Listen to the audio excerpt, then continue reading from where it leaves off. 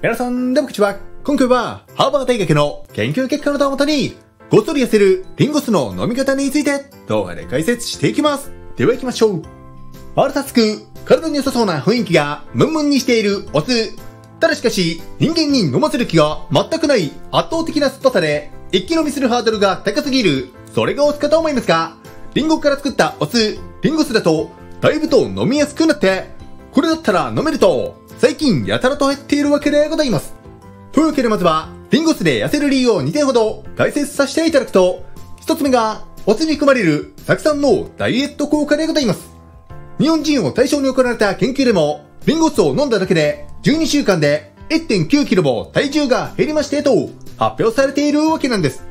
研究内容が、日本人155名を対象に、3つ目グループ、1つ目が、1日 15ml のリンゴ酢を飲んだグループ、2つ目が、1日 30ml のリンゴ酢を飲んだグループ、そして最後3つ目が、何も飲まなかったグループに分けて、12週間過ごしてもらった結果、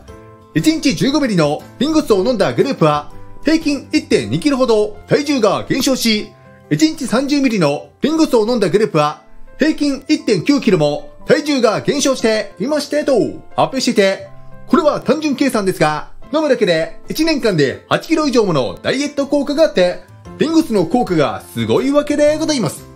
じゃあなんで飲むだけで体重減るのと、その理由についても解説させていただくと、お酢に含まれる酢酸がすごいわけでございまして、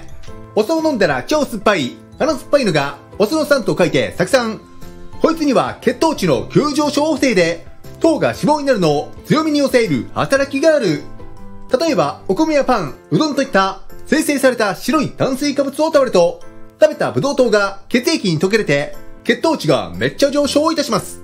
すると、上がった血糖値を下げるため、インスリンと呼ばれるホルモンが分泌されるというありがたい体の仕組みがあるわけでございますが、このインスリン君、どうやって血糖値を下げるのか、それは血液中にあるブドウ糖を細胞にゴリゴリに押し込むという、イメージで言うと、こんな感じで、満員電車の時の駅員さんみたいな、脳筋が過ぎるシンプルな方法でございます。しかもこのインスリン君、頑張りすぎちゃう側面もございまして、炭水化物をたくさん食べて、血糖値が上がりすぎると、インスリン君もめちゃめちゃ頑張る。その結果、ブドウ糖を細胞に押し込みすぎて、血液中のブドウ糖が少なくなって、低血糖な状態になっちゃうと、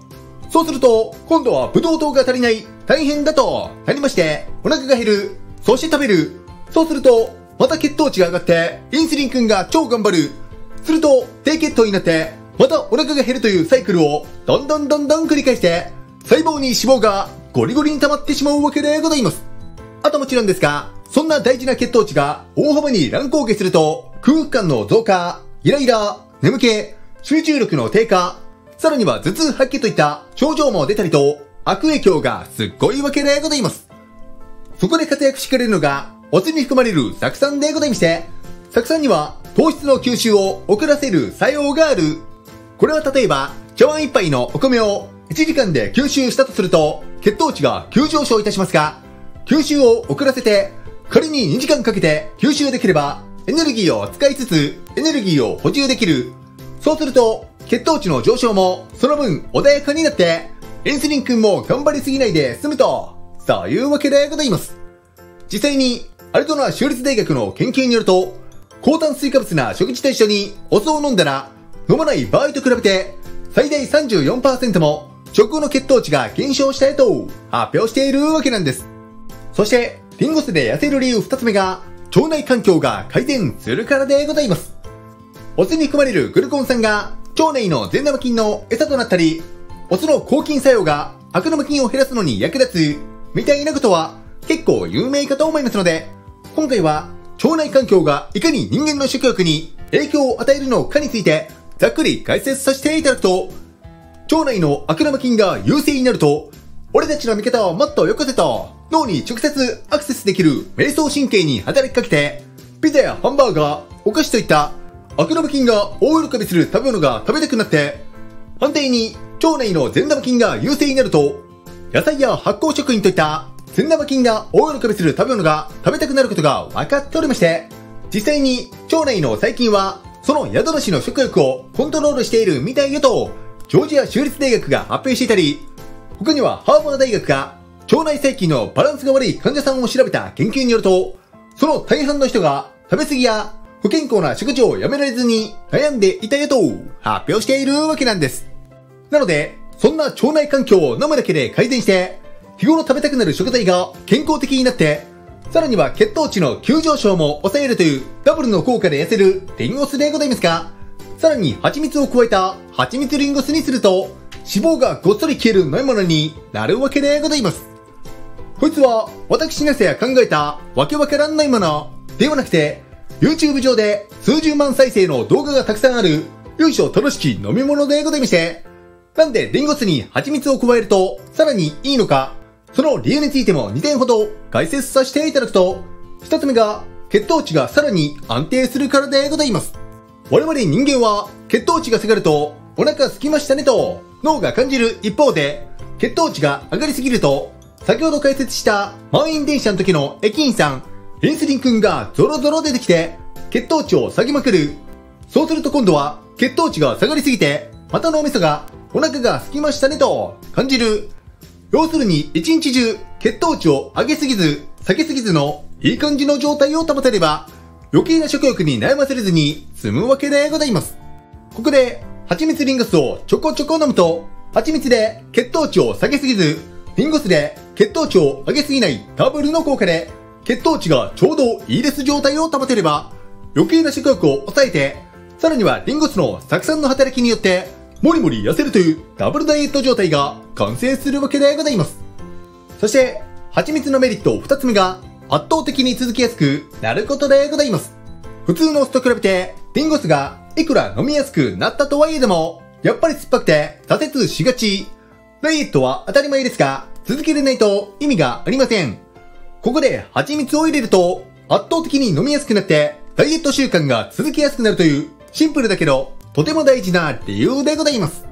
ちなみに、蜂蜜は血液サラサラ効果もございまして、トロント大学が過去に行われた研究10件、延べ444名分のデータをさらにまとめたメタ分析によると、1日平均 70g の蜂蜜を摂取した人は、約5週間で悪玉コレステロール低下、中性脂肪も低下、善玉コレステロールは少し改善と、脂質危険因子に対して有益な効果があるみたいですよと発表し、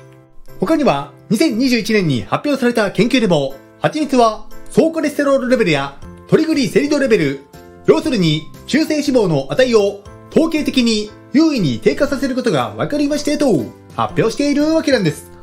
なので、飲むだけで痩せて、さらには血液サラサラの健康効果まで得られる蜂蜜リンゴ酢はすごいと、そういうわけでございます。というわけでそろそろ蜂蜜リンゴ酢が飲みたくなってきたかと思いますので、おすすめの作り方についても解説させていただくと、作り方は至って簡単。まず、500ml のペットボトルを用意して、そこに 400cc 水入れて、リンゴ酢大さじ2杯 30ml 突っ込んで、蜂蜜 20g 入れたら、あとは自慢の腕力で、フリフリしたら、こんな感じで、もう完成でございます。ちなみに、ペットボトルに入れておくと、あとこれだけ飲めば、ノルマ達成、みたいに、目標があって取り込みやすいかと思いますし、例えばコンビニなんかでも、こんな、蜂蜜クロスダイエットと、商品名にダイエットって入れちゃうくらいの強気な商品が売っておりますが、これとほとんど同じ味の飲み物が安く大量に作れるなら、もう一層自分で作った方がいいよねと。多分そういうわけでございます。ちなみに、見た目は蜂蜜っぽいけど、成分表示を見てみたら、こんな感じで、ただのお砂糖シロップだった、みたいな残念蜂蜜を売っておりますので、買うならこんな感じで、成分が蜂蜜だけの純粋蜂蜜にしましょうと。あともちろんですが、自宅にある普通のお酢をグビグビ飲んでいただいても、ダイエット効果があるかと思いますが、正直酸っぱすぎて、1日 30ml はセルフド M プレイをやってる気分になるレベル。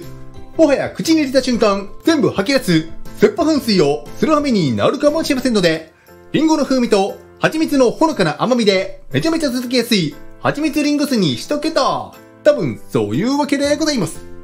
さらにですね、私自身毎日実践している一般的なダイエット法よりも2倍速でめっちゃ簡単に痩せる方法を解説した動画を中瀬の本棚公式 LINE 限定で無料配信中ですので、興味のある方は概要欄からご覧いただければ嬉しいです。それでは最後までご視聴ありがとうございました。